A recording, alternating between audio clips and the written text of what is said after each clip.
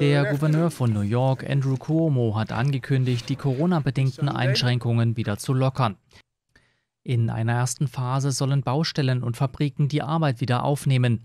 Wenn es dann nicht zu einem erneuten Anstieg der Ansteckungsrate kommt, werde es weitere Erleichterungen geben. Ein Zurück zu gestern dürfe es trotzdem nicht geben, mahnte Cuomo. Wir haben viel gelernt, auf die harte Tour, aber wir haben viel gelernt. Das ist es, was Neudenken für mich bedeutet. Wie ziehen wir aus dieser Lektion, dieser Pause im Leben die richtigen Schlüsse, damit wir sagen können, wir werden etwas verbessern, wir werden unser Leben neu denken und verbessern nach dieser Pause.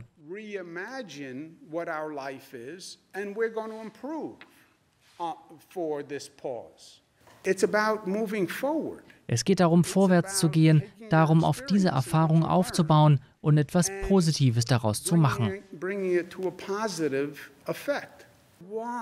Cuomo sagte weiter, Veränderungen zu erreichen sei sehr schwer. Das gelte für einzelne Menschen und die Gesellschaft als Ganzes. Wer sich aber nicht verändere, der wachse auch nicht. Jetzt sei der Zeitpunkt, etwas besser zu machen.